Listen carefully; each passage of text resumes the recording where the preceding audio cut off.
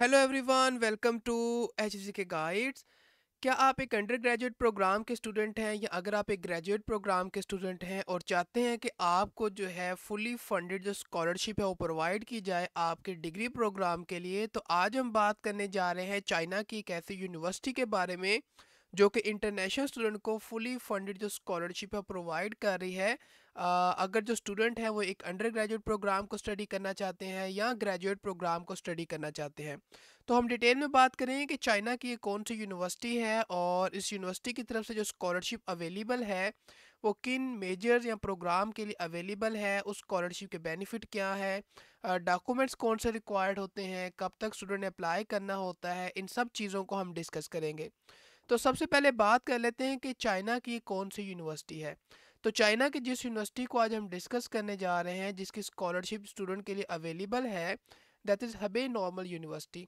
आपने क्या करना है कि सिंपली जो है सर्च करना है Hubei normal university and after searching this आपने क्या करना है कि सिंपली जो है इस एड्रेस को फॉलो करना है। So this is the place कि जहाँ पर आपको इस यूनिवर्सिटी की जो इन्फॉर्मेशन है वो मिल जाएगी। सबसे पहले अगर बात कर ली जाए कि इस यूनिवर्सिटी की तरफ़ से जो स्कॉलरशिप ऑफर्ड की जा रही है वो एक्चुअली क्या है तो जो स्कॉलरशिप इस यूनिवर्सिटी की तरफ़ से ऑफर्ड की जा रही है that is Chinese government scholarship program और जो चाइनीज़ गवर्नमेंट स्कॉलरशिप प्रोग्राम है, इसका पर्पज़ ये होता है कि जो स्कॉलरशिप की अपॉर्चुनिटी है, उसको प्रोवाइड करना जो स्टूडेंट एक गुड एकेडमिक रिकॉर्ड को होल्ड करते हैं और ना सिर्फ़ स्टूडेंट के लिए स्कॉलरशिप अवेलेबल होती है, बल्कि टीचर्स के लिए भी और डिफरेंट जो स्कॉलर्स हैं from all over the world उनके लिए स्कॉलरशिप अवेलेबल होती है ताकि वो अपनी जो रिसर्च है उसे कैरी आउट करे कर सकें चाइना की यूनिवर्सिटी से। और डिफरेंट जो है स्टडी एरियाज़ अवेलेबल होते हैं जिसके अंदर जो स्कॉलरशिप है स्टूडेंट को ऑफ़र की जाती है। अगर बात की जाए कौन से मेजर्स अवेलेबल हैं तो अब आप, ये डिपेंड करता है कि आप किस प्रोग्राम के स्टूडेंट हैं। क्या आप एक अंडर ग्रेजुएट प्रोग्राम के स्टूडेंट हैं, क्या आप एक मास्टर्स प्रोग्राम के स्टूडेंट हैं, क्या आप एक डिक्टोरल प्रोग्राम के स्टूडेंट हैं। तो यहाँ पर जो लिस्ट ऑफ़ मेजर्स अवेलेबल है, ये अंडर ग्रेजुएट प्रोग्राम के स्टूडेंट के लिए अवेलेबल हैं। तो यहाँ पर आप देख सकते हैं कि बहुत सारे मेजर इस यूनिवर्सिटी की तरफ़ से ऑफर्ड किए जा रहे हैं, जो कि इस स्कॉलरशिप के अंदर अवेलेबल हैं। और इसी के साथ साथ वो स्टूडेंट जो किसी मास्टर्स प्रोग्राम को स्टडी करना चाहते हैं तो उनके लिए भी यहाँ पर बहुत सारे मेजर्स को जो है वो मेंशन किया गया है, जिसकी कंप्लीट लिस्ट आप यहाँ से देख सकते हैं। और ना सिर्फ़ ये, बल्कि जो डेक्टोरल प्रोग्राम के स्टूडेंट हैं, उनके लिए भी बहुत सारे मेजर्स अवेलेबल हैं, जिसके अंदर अपना वो स्टडी प्रोग्राम परस्यू कर सकते हैं। और इसी के साथ साथ जो डेक्टोरल प्रोग्राम के मेजर्स हैं, उनकी जो लैंग्वेज ऑफ़ इंस्ट्रक्शन है, जो टीचिंग की लैंग्वेज है, उनको भी मैंशन किया गया है। ताकि स्टूडेंट इस बात को इंश्योर कर सकें कि जिस प्रोग्राम को परस्यू करने जा रहे हैं, क्या वो इंग्लिश लैंग्वेज में है या चाइनीज़ लैंग्वेज में है? तो इस तरह से आपने जो है लिस्ट ऑफ़ मेजर को चेक करना है डिपेंडिंग पोन कि आप किस प्रोग्राम के स्टूडेंट हैं अब बात करें कि जो स्कॉलरशिप प्रोग्राम है स्टूडेंट को क्या बेनिफिट प्रोवाइड करता है? तो जो स्कॉलरशिप प्रोग्राम है, इसके थ्रू स्टूडेंट जो है, उनको एग्जामेशन प्रोवाइड की जाती है, उनकी रजिस्ट्रेशन की ट्यूशन की लेबॉर्ट्री एक्सपेरिमेंट की जो फ़ी है, उसकी और इसी के साथ साथ जो ऑन कैंपस अकोमोडेशन होती है, उसकी सपोर्ट भी स्टूडेंट को प्रोवाइड की जाती है। यानी स्टूडेंट को जो है ट्यूशन फ़ी की सपोर्ट प्रोवाइड की जा रही है, उनकी जो रजिस्ट्रेशन फ़ी है, उसकी सपोर्ट प्रोवाइड की जा रही है स्टूडेंट को अकोमोडेशन की जो फ़ी है, उसकी सपोर्ट प्रोवाइड की जा रही है। इन सब चीज़ों से, इन जो डिफरेंट फ़ीस हैं, इनकी एग्जामेशन स्टूडेंट को प्रोवाइड की जाती है। इसी के साथ साथ स्टूडेंट को जो है मंथली जो है लिविंग अलाउंस भी प्रोवाइड किया जाता है और भी डिपेंड करता है कि आप एक अंडर ग्रेजुएट प्रोग्राम के स्टूडेंट हैं मास्टर्स डिग्री प्रोग्राम के स्टूडेंट हैं या डेक्टोरल प्रोग्राम के स्टूडेंट हैं, उसके मुताबिक स्टूडेंट को पर मंथ लिविंग अलाउंस जो है प्रोवाइड किया जाता है और स्टूडेंट को जो है मेडिकल इंश्योरेंस की सपोर्ट भी प्रोवाइड की जाती है। तो ये हमारे पास जो है, जो फुली फंडेड स्कॉलरशिप है, उसके बेनिफिट स्टूडेंट को प्रोवाइड किए जा रहे हैं। अब बात करते हैं कि एलिजिबिलिटी क्राइटेरिया क्या है, जो एप्लीकेंट इस स्कॉलरशिप के लिए चाहते हैं कि वो अप्लाई करें।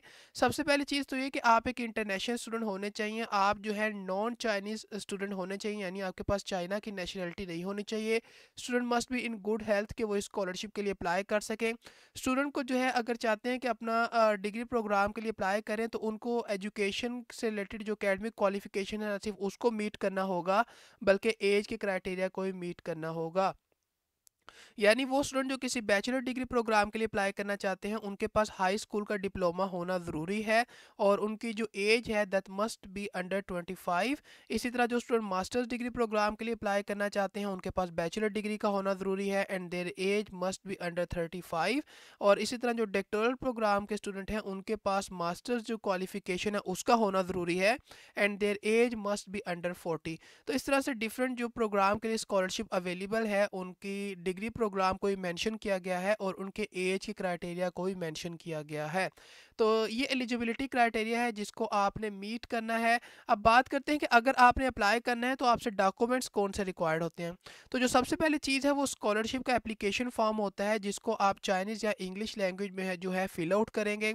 स्टूडेंट ने अपना जो हाईएस्ट उनका डिप्लोमा है जिसकी नोटराइज कॉपी स्टूडेंट ने जो है सबमिट करनी है। अकेडमिक ट्रांसक्रिप्ट को स्टूडेंट ने सबमिट करना है स्टडी या जो रिसर्च प्लान है स्टूडेंट का उसको स्टूडेंट सबमिट करेंगे। स्टूडेंट जो है रिकमेंडेशन एप्लीकेशन लेटर को सबमिट करेंगे और एप्लीकेंट जो मास्टर्स और डिक्टोरल प्रोग्राम के स्टूडेंट हैं या सीनियर एडवांस प्रोग्राम के स्टूडेंट हैं, वो सबमिट करेंगे टू रिकमेंडेशन लेटर को। वो चाइनीज़ लैंग्वेज में भी हो सकते हैं, वो इंग्लिश लैंग्वेज में भी हो सकते हैं। इसी तरह यहाँ पर जो है कुछ रिक्वायरमेंट को मैंशन किया गया है डिपेंडिंग पोन उन प्रोग्राम के स्टूडेंट के लिए जो इन प्रोग्राम के लिए अप्लाई करने जा रहे हैं। तो आप अगर इन प्रोग्राम के स्टूडेंट हैं तो आपने इन रिक्वायरमेंट को भी मीट करना है। स्टूडेंट ने इस जो फॉर्म है, इसकी फ़ोटो को भी सबमिट करना होता है और इस फॉर्म को स्टूडेंट ने जो है फिल करना है इंग्लिश लैंग्वेज के अंदर और ये कुछ लिस्ट ऑफ़ डॉक्यूमेंट्स हैं जो कि स्टूडेंट के पास होने चाहिए ताकि वो जो है इस स्कॉलरशिप के लिए अप्लाई कर सकें और इस फुली फंडेड स्कॉलरशिप की अपॉर्चुनिटी को अवेल कर सकें। अब बात करते हैं कि जो Chinese government scholarship program Hubei noble university की तरफ़ से अवेलेबल है स्टूडेंट के लिए, इसकी एप्लीकेशन को कब एक्सेप्ट किया जाता है? तो जो एडमिशन की एप्लीकेशंस होती हैं into Hubei normal university under the Chinese government scholarship program उनको जो है यूजली एक्सेप्ट किया जाता है from fifteen of December to thirty of April तो इस ड्यूरेशन के अंदर स्टूडेंट ने जो है अपनी एप्लीकेशन को सबमिट करना होता है। लेकिन जो एक स्पेसिफिक टाइम है एप्लीकेशन का, वो वेरी कर सकता है कि जब चाइना स्कॉलरशिप काउंसिल की तरफ़ से जो है स्कॉलरशिप की अनाउंसमेंट की जाएगी। But this is the expected time frame कि जिसके अंदर स्टूडेंट ने अपनी एप्लीकेशन को जो है सबमिट करना होता है। अब बात की जाए कि अगर आपने स्कॉलरशिप के लिए अप्लाई करना है तो किस तरह से अप्लाई करना है? तो सबसे पहली चीज़ तो ये कि आप जो है इस पोर्टल पर अपनी जो एप्लीकेशन है, उसको सबमिट सबमिट करेंगे। यानी अपनी जो चाइनीज़ गवर्नमेंट स्कॉलरशिप की एप्लीकेशन है, उसको ऑनलाइन आपने सबमिट करना है। और इसी के साथ साथ जो स्टूडेंट अप्लाई करना चाहते हैं, अगर उनसे रिक्वायर्ड है तो वो अपनी एप्लीकेशन डॉक्यूमेंट को सबमिट करेंगे। उस इंस्टीट्यूशन को जो कि चाइना की जो गवर्नमेंट स्कॉलरशिप प्रोग्राम है, उसके एप्लीकेशन को एक्सेप्ट कर रहा है। जस्ट लाइक कि वो अपने एप्लीकेशन डॉक्यूमेंट को जो है चाइनीज़ एम्बेसी को या जो कौंसुलेट जनरल है या उनकी जो एम्बेसी है चाइना के अंदर उसको जो है सबमिट कर सकते हैं ताकि उनकी जो एप्लीकेशन है उसको फॉरवर्ड किया जा सके चाइना स्कॉलरशिप काउंसिल को। तो इस तरह से स्टूडेंट ने इस स्कॉलरशिप के लिए अप्लाई करना है। लेकिन ये तो एक स्कॉलरशिप है जो कि इस यूनिवर्सिटी की तरफ़ से अवेलेबल है और एक फुली फंडेड स्कॉलरशिप प्रोग्राम है। इसी के साथ साथ एक और स्कॉलरशिप भी अवेलेबल है और देखते हैं कि इस स्कॉलरशिप प्रोग्राम के क्या बेनिफिट हैं। और ये जो स्कॉलरशिप है that is Hubei provisional government scholarship program और ये स्कॉलरशिप प्रोग्राम भी इंटरनेशनल स्टूडेंट के लिए अवेलेबल है और ऐसे इंटरनेशनल स्टूडेंट जो कि स्टडी कर रहे हैं अपना डिग्री प्रोग्राम को किसी कॉलेज या यूनिवर्सिटी के अंदर, जो जो कि लोकेटेड हो हबे प्रोविंस के अंदर और अंडर ग्रेजुएट प्रोग्राम के स्टूडेंट भी अप्लाई कर सकते हैं मास्टर्स प्रोग्राम के स्टूडेंट भी अप्लाई कर सकते हैं और डेक्टोरल प्रोग्राम के स्टूडेंट भी अप्लाई कर सकते हैं। और डिफरेंट जो फील्ड्स ऑफ़ स्टडी हैं, वो अवेलेबल हैं, जिसके अंदर स्टूडेंट जो है, अपने स्कॉलरशिप के लिए अप्लाई कर सकते हैं। स्टूडेंट जो है, वो नॉन चाइनीज़ एप्लीकेंट होने चाहिए गुड हेल्थ के अंदर होने चाहिए, ताकि वो अपनी जो स्टडी है, उसे कैरी आउट कर सकें। तो यहाँ पर जो है स्कॉलरशिप का जो है कैटेगरी मेंशन है कि किन प्रोग्राम के लिए स्कॉलरशिप अवेलेबल है, उसके मुताबिक कौन सी क्वालिफिकेशन होनी चाहिए और स्कॉलरशिप का ड्यूरेशन क्या है। तो वो स्टूडेंट जो अंडर ग्रेजुएट प्रोग्राम के लिए चाहते हैं, उनको स्कॉलरशिप प्रोवाइड की जाए तो उनके पास हाई स्कूल का डिप्लोमा होना चाहिए और एचएस के लेवल जो है फोर होना चाहिए, जिसका मिनिमम स्कोर वन होना चाहिए। और जो स्कॉलरशिप है वो स्टूडेंट को उनके एकेडमिक स्टडी प्रोग्राम के लिए प्रोवाइड की जाएगी। इसी तरह जो मास्टर्स प्रोग्राम के स्टूडेंट हैं, उनके पास बैचलर डिग्री या उसके इक्वलेंट होनी चाहिए और जो एचएस के लेवल है वो फाइव उनके पास होना चाहिए, जिसका मिनिमम स्कोर वन होना चाहिए एंड अगेन जो स्कॉलरशिप है उनको अकेडमिक जो स्टडी उनका ड्यूरेशन है उसके लिए प्रोवाइड की जाएगी। और यहाँ पर जो डेक्टोरल प्रोग्राम के स्टूडेंट हैं, उनके क्राइटेरिया को भी मैंशन किया गया है।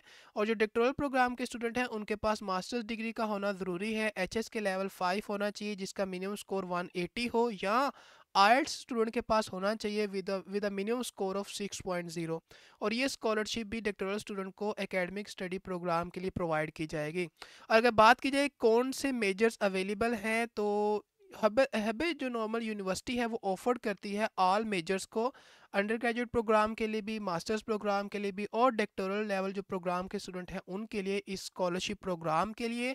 स्कॉलरशिप के अगर बेनिफिट की बात की जाए तो ये डिपेंड करता है कि आप किस प्रोग्राम के स्टूडेंट हैं, उसके मुताबिक आपको स्कॉलरशिप की कवरेज प्रोवाइड की जाएगी of this amount per year depending upon कि आप एक अंडर ग्रेजुएट प्रोग्राम के स्टूडेंट हैं मास्टर्स प्रोग्राम के स्टूडेंट हैं, या आप जो है डेक्टोरल प्रोग्राम के स्टूडेंट हैं।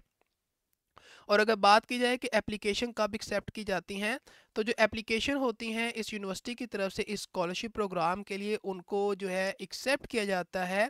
यानी यूजली जो है वो टेक प्लेस करती हैं before June thirty for new student and between October first and October thirty for old student तो इस ड्यूरेशन के अंदर स्टूडेंट ने अपनी एप्लीकेशन को सबमिट करना होता है।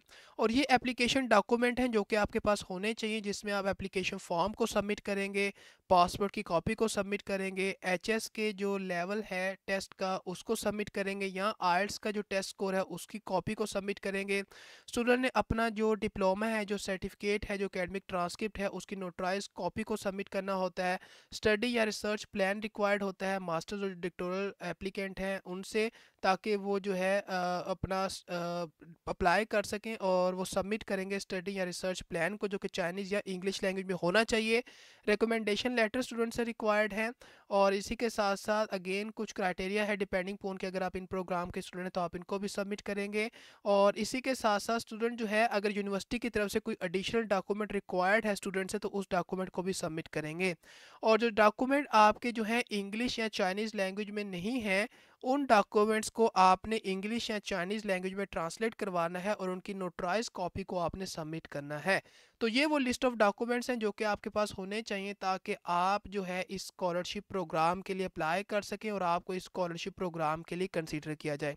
ये थी आज की स्कॉलरशिप की अपॉर्चुनिटी रिगार्डिंग उन स्टूडेंट्स के लिए जो चाइना से स्टडी करना चाहते हैं और चाहते हैं कि उनको ना सिर्फ़ जो ये फुली फंडेड स्कॉलरशिप प्रोग्राम है, उसके लिए कंसीडर किया जाए, बल्कि ये जो स्कॉलरशिप प्रोग्राम है, इसके लिए भी स्टूडेंट अप्लाई कर सकते हैं। आई होप सो कि आज की जो स्कॉलरशिप की अपॉर्चुनिटी हमने डिस्कस की, या आपको अच्छी लगी होगी, आपके लिए हेल्पफुल होगी। तो आज के लिए इतना ही, मिलते हैं आपको किसी नई अपॉर्चुनिटी के साथ। So till then take care and goodbye